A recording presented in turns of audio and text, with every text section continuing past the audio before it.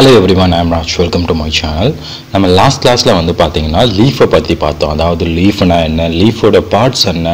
லீஃபில் இருக்கக்கூடிய வீனேஷன் அதோடைய ஃபில்லோடாக்ஸி இந்த மாதிரி எல்லா விஷயத்தையும் நம்ம வந்து லீஃபை பற்றி பார்த்தோம். அண்ட் இன்றைக்கி நம்ம இந்த வீடியோவில் வந்து பார்த்தீங்கன்னா ஃப்ளவரை பற்றி பார்க்க போகிறோம் ஸோ ஃப்ளவர்னா என்ன? ஃப்ளவரில் இருக்கக்கூடிய பார்ட்ஸ் இந்த மாதிரி விஷயங்களை தான் நம்ம இந்த வீடியோவில் வந்து பார்க்க போகிறோம் ஸோ இந்த வீடியோக்குள்ளே போகிறதுக்கு முன்னாடி ஃபஸ்ட்டு நம்ம ஃப்ளவர்னா என்ன அப்படின்னு சொல்லிட்டு நம்ம தெரிஞ்சுக்கலாம். ஸோ ஃப்ளவர் அப்படின்றது எல்லாருக்குமே தெரியும். ஃப்ளவர் அப்படின்னா ஒரு ரீப்ரொடக்டிவ் பார்ட் அப்படின்னு நமக்கு நல்லாவே தெரியும். தாவரங்களோட இனப்பெருக்க உறுப்பை தான் நம்ம மலர் அப்படின்னு சொல்கிறோம் இதோட முக்கியமான வேலை என்ன அப்படின்னு பார்த்தீங்கன்னா சீடை ப்ரொடியூஸ் பண்ணோம். அடுத்த தலைமுறையை வந்து உருவாக்குறது தான் ஒரு ஃப்ளவரோட முக்கியமான பண்பு.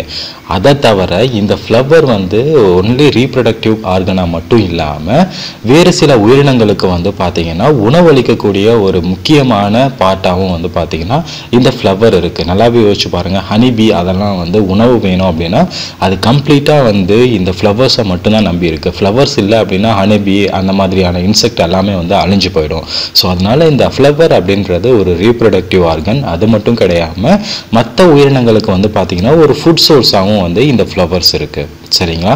அண்ட் அதுக்கப்புறம் இந்த ஃப்ளவர்ஸை நம்ம பொதுவாக பார்க்கும்போதே நல்லா அட்ராக்டிவான கலராக இருக்கும். அந்த அட்ராக்டிவான கலர்னால தான் நிறைய இன்செக்ட் வந்து அதை பார்த்து கிட்ட வந்து தேன் குடிக்க வரும். இது மூலமாக தான் பாலினேஷன் வந்து பார்த்திங்கன்னா சாத்தியமாகுது. அதாவது மகரந்த சேர்க்கை அப்படின்றது சாத்தியமாகுது. ஸோ ஃப்ளவரோட அட்ராக்டிவான கலரை பார்த்து தான் நிறைய பூச்சிகள் வந்து வரும். இதனால தான் வந்து போலன் கிரைன்ஸ் வந்து ஒரு செடியில் இருந்து இன்னொரு செடிக்கு வந்து எடுத்துகிட்டு போகும். ஸோ இந்த மாதிரி மகரந்த சேர்க்கைக்கும் வந்து ஃப்ளவரோட கலர் வந்து ரொம்ப ரொம்ப இம்பார்ட்டன்ட் அதே மாதிரி மற்ற உயிரினங்கள் வந்து இந்த கலரை பார்த்து தான் கவரப்படுது. ஸோ இதான் பேசிக்காக வந்து ஃப்ளவரை பற்றி சொல்லணும் அப்படின்னா இன்ஃபர்மேஷன்ஸ் சரி நம்ம இப்போ ஃப்ளவரில் இருக்கக்கூடிய பாகங்கள் என்னென்ன அப்படின்னு சொல்லிட்டு பார்க்கலாம். ஸோ பொதுவாக ஒரு ஃப்ளவரை எடுத்தீங்க அப்படின்னா ஒரு கம்ப்ளீட் ஃப்ளவரை எடுத்தீங்க அப்படின்னா அதில் நாலு முக்கியமான பார்ட் இருக்கும். அது என்னென்ன அப்படின்னு பார்த்தீங்கன்னா sepal petal stamen and carpel அப்படின்ற மாதிரியான நாலு பார்ட் இருக்கும். ஸோ அந்த நாலு பார்ட்டை பற்றியும் நம்ம டீட்டெயிலாக பார்க்கலாம். இந்த நாலு பார்ட்டில் ரெண்டு முக்கியமான பார்ட் இருக்குது அது என்னென்னு கேட்டிங்கன்னா ஒன்று ஸ்டாமன் இன்னொன்று வந்து பார்த்தீங்கன்னா கார்பல். ஒரு மலரில் இந்த ரெண்டு பார்ட்டுமே வந்து ரொம்ப ரொம்ப முக்கியமான பார்ட் ஏன்னு கேட்டிங்கன்னா இந்த ஸ்டாமன் அப்படின்றது மேல் ரீப்ரொடக்டிவ் பார்ட் அதே மாதிரி இந்த கார்பல் அப்படின்றது ஃபீமேல் ரீப்ரொடக்டிவ் பார்ட் ஸோ ஒரு ஃப்ளவரில் ரெண்டு முக்கியமான பார்ட் இருக்குது அப்படின்னா அது ஒன்று ஸ்டாமன் இன்னொன்று ஒன்று கார்பல் ஸ்டாமன் அப்படின்றது male reproductive part and female reproductive part வந்து கார்பல் ஸோ இது ரெண்டுத்தையும் வந்து நல்லா ஞாபகம் வச்சுக்கோங்க. ஸோ இந்த இடத்துல வந்து பார்த்தீங்கன்னா ஹெர்மா ப்ராடக்ட் ஃப்ளவர் அப்படின்னு சொல்லிட்டு ஒரு இடத்துல வந்து ஒரு சில இடத்துல வந்து கொடுத்துருப்பாங்க.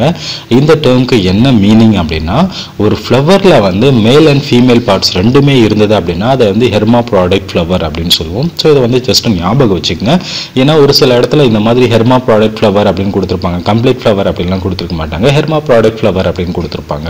ஸோ அதுக்கான மீனிங் என்ன அப்படின்னு பார்த்தீங்கன்னா ஸ்டாமன் அண்ட் கார்பஸ் எல்லாமே வந்து பார்த்தீங்கன்னா ஒரே இடத்துல இருக்குது அப்படின்றது தான் இதுக்கான மீனிங் ஸோ இதை வந்து நல்லா ஞாபகம் வச்சுக்கோங்க. இப்போ நம்ம ஃப்ளவரில் இருக்கக்கூடிய ஒவ்வொரு பார்ட்டை பற்றியும் நம்ம டீட்டெயிலாக பார்க்கலாம். ஸோ முன்னாடி நான் சொன்ன மாதிரி இதில் நாலு முக்கியமான பார்ட் இருக்குது அது தவிர வேறு சில பார்ட்லாம் இருக்குது அதை பார்த்துட்டு தென் அதுக்கப்புறம் இந்த நாலு முக்கியமான பாட்டை பற்றி நம்ம இப்போ பார்க்கலாம். ஸோ முதல்ல வந்து பார்த்தீங்கன்னா ஒரு ஃப்ளவர் எடுத்தீங்க அப்படின்னா கீழே அதோடைய காம்பு. ஸோ அதை வந்து நம்ம பெடிசில் அப்படின்னு சொல்லுவோம். மலர் காம்புக்கு பேர் வந்து பெடிசில்.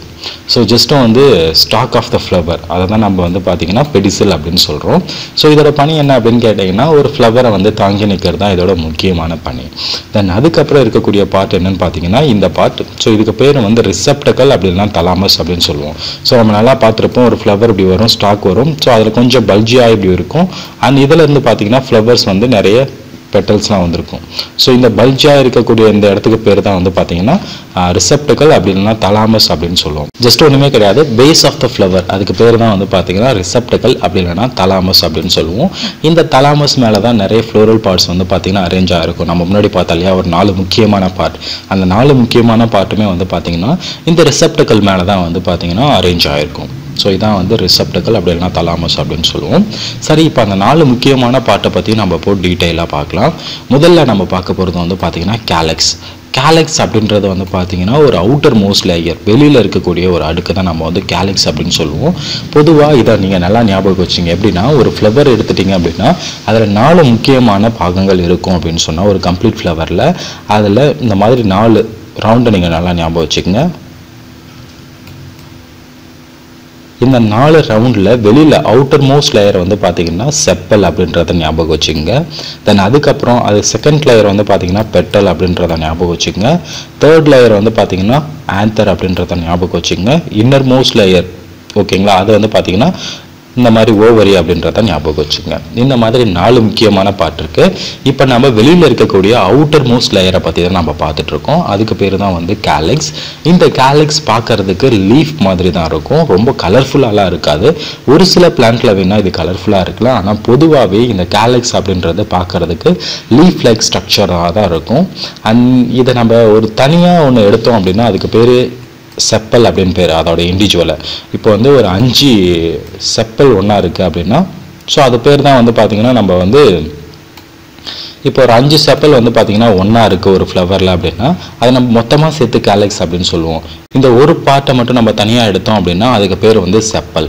ஸோ செப்பல் எல்லாமே ஒன்று சேர்ந்து தான் வந்து கேலக்ஸை வந்து உருவாக்கும். இந்த செப்பல் அப்படின்றது தனித்தனியாக இருந்தது அப்படின்னா அதுக்கு பேர் வந்து பாலிசெப்பாலஸ் இதெல்லாம் நம்ம முன்னாடியே பார்த்தோம்னு நினைக்கிறேன்.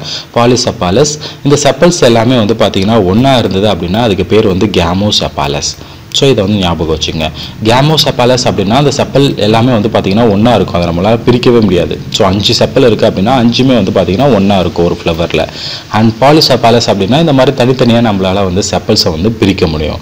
இதெல்லாம் வந்து பார்த்தீங்கன்னா பாலிசெப்பாலஸ் அண்ட் கேமோ செப்பாலஸ் அப்படின்னு சொல்லிட்டு நம்ம ரெண்டு டைப்பாக வந்து செப்பல்ஸை வந்து பிரிக்கலாம். சரி இந்த செப்பல்ஸோட முக்கியமான பணி என்ன? இந்த கேலக்ஸ் எதுக்கு தான் யூஸ் ஆகுது ஃப்ளவரில் அப்படின்னு பார்த்தீங்கன்னா ஒரு ஃப்ளவர் வந்து பட்டாக இருக்கும்போது அந்த பட்டை வந்து ஃபுல்லாக கவர் பண்ணியிருக்கிறது வந்து பார்த்தீங்கன்னா இந்த கேலிக்ஸ் தான். ஸோ ஒரு பட்டை வந்து பாதுகாக்கிறதா இதோட முக்கியமான பணியை. ஏன்னா யங் ஸ்டேஜில் பட்டு இருந்தது அப்படின்னா அது லைட்டாக காற்றடிச்சாலும் கூட டேமேஜ் ஆகிறதுக்கு வாய்ப்பு இருக்குது அதனால் இந்த கேலிக்ஸ் வந்து அந்த பட்டை வந்து கவர் பண்ணி சுற்றி பாதுகாப்புக்காக ஒரு உருவாக்கப்பட்ட ஒரு உரை தான் வந்து இந்த கேலிக்ஸ் ஸோ இதை வந்து நல்லா ஞாபகம் வச்சுங்க. கேலிக்ஸ் பொறுத்த வரைக்கும் நம்ம முக்கியமாக ஞாபகம் வச்சுக்க வேண்டியது இதை வந்து அவுட்டர் மோஸ்ட் லேயர் பார்க்கறதுக்கு லீஃப் மாதிரி இருக்கும். அதோடைய இண்டிவிஜுவலை நம்ம செப்பல் அப்படின்னு சொல்லுவோம்.